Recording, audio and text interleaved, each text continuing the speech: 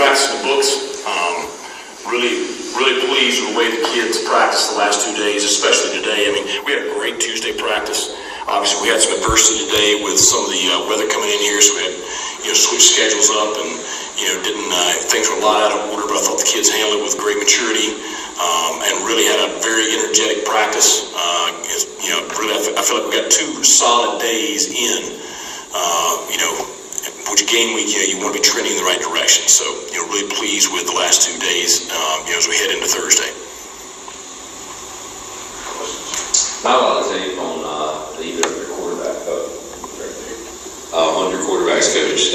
Is that an advantage? Do you have kind of the element of surprise maybe against Michigan? I don't know. We'll find out Saturday.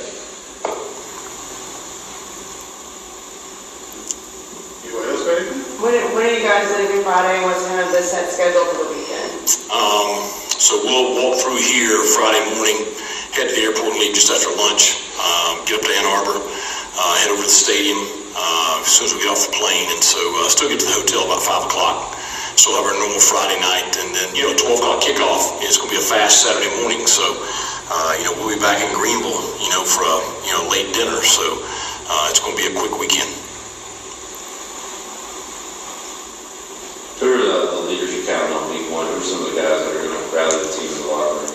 Well, I think, you know, the experienced guys that we do have that, uh, you know, have been, you know, players on the field the last couple of years will be the guys that will be, you know, the most comfortable going into Saturday. You know, they're, they're not going to be phased by, you know, anything because they've played a lot of big ball games. So, you know, Jeremy Lewis, uh, Rahjai Harris, um, you know, Josiah Hatfield, uh, Elijah Morris, you know, Tay, Tay Johnson, um, you know, a lot of those guys, Jack Powers, you know, Julius Wood, you know, all, the, all those guys that everybody knows their name, they're going to be, they're going to be the guys that, uh, you know, be, you know, very vocal pregame and very vocal on the field Saturday.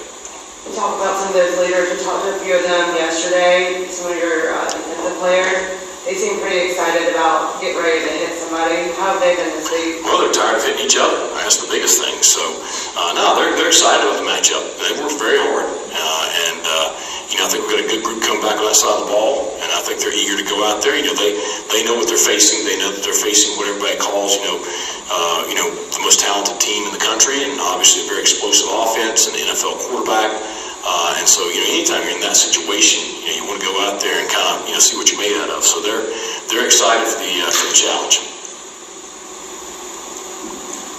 Coach, does that go to, to the two guys' defensive line? They want to talk about their offensive line. Are they looking forward to kind of, know, seeing that firsthand, proving how, how good they can be too? Yeah, I that's, that's an experienced veteran bunch up front.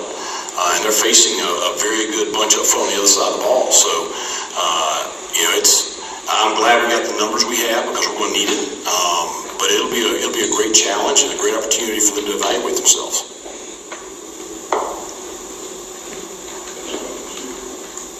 maybe this is for you, but just as far as practice tomorrow and the weather, how much of a concern is that? Um, you know, obviously no ability to practice indoor really.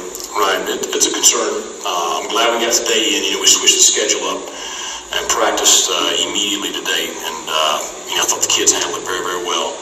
Um, you know, we're, we're getting ready to go in for meetings right now, and you know, hopefully we're going have, have some ability to get a practice in tomorrow. Uh, but obviously, a Thursday practice is very important from a special teams, uh, late game situations, sharpening up your game plan. I mean, Thursday is kind of the put it all together practice, so you know we need to get it in somehow.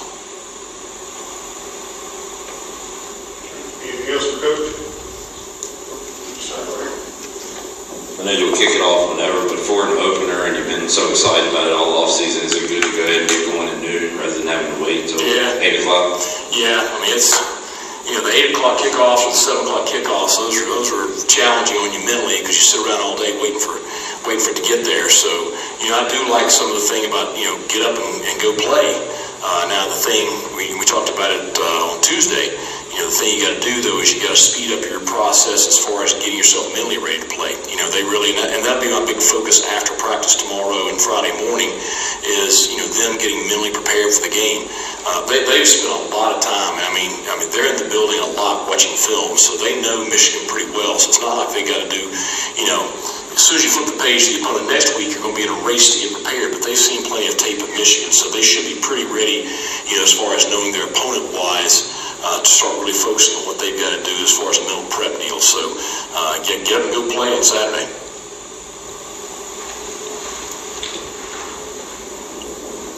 Coach, uh, Jeremy Lewis has been a guy with the program quite a while. I don't know if you've already spoke on him today, but just uh, can you just elaborate a little bit on how he's kind of become a leader for the defense and how you see him fitting in this year? Well, you know, really proud of him.